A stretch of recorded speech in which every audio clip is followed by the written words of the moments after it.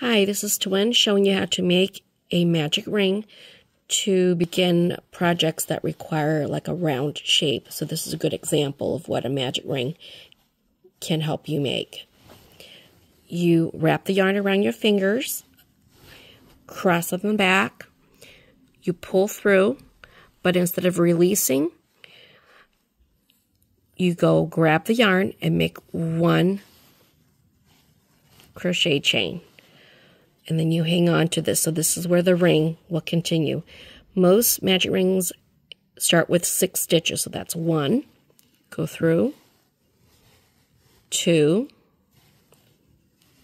go through, pull through, three, four,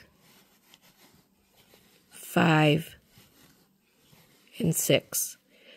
So then when you pull the loose tail here, tight, it creates a circle.